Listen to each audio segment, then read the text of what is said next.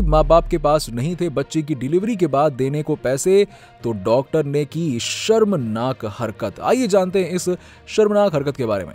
Doctor को भगवान का रूप इस वजह से कहते हैं क्योंकि उनके हाथ में इंसान की ज़िंदगी होती है। कोरोना काल में भी इन्हीं डॉक्टर्स ने अपने बारे में ना सोचते हुए कई लोगों की ज़िंदगी बचाई थी। पर जहाँ इस संसार में अच्छे इंसान भी हैं तो वहीं कुछ ऐसे लोग भी हैं जो डॉक्टर होने के बाद भी किसी शैतान से कम नहीं होते हैं। और आज हम आपको एक ऐसी ही मानवता को शर्मसार कर देने वाली घटना के बारे में बताने वाले हैं।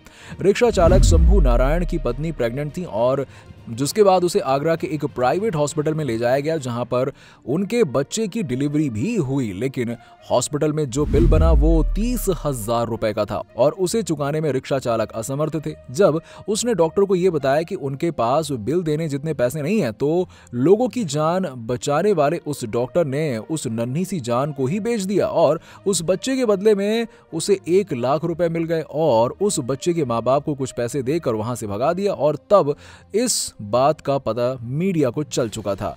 जब उन्होंने इस चीज़ का कवरेज किया तो उस व्यक्ति ने जिन्होंने उस बच्चे को लिया था, वो उन्हें उनका बच्चा वापस देकर चले गए, जिसके बाद प्रशासन ने एक्शन लेते हुए उस डॉक्टर के अस्पताल को सील कर दिया और उसके खिलाफ कार्रवाई की जा रही है। अगर इस तरह के काम डॉक्टर जिनके हाथ में लोग अपनी ज़िंदगी थमा देते हैं, वो ऐसा करेंगे तो लोगों के बीच में ये चिंता ज़रूर रहेगी, खास तौर पर गरीब लोगों को जो अपने परिवार के लिए इन बड़े प्राइवेट हॉस्पिटल में इलाज के लिए आते हैं। तो इस शर्मनाक घटना के बारे में आप क्या कहना चाहेंगे? नीचे हमें कॉमेंट सेक्शन में कॉमेंट करके ज़रूर बताइए और इस वीडियो को फेसबुक और व्हाट्सएप पर ज़्यादा से ज़्यादा शेयर करें।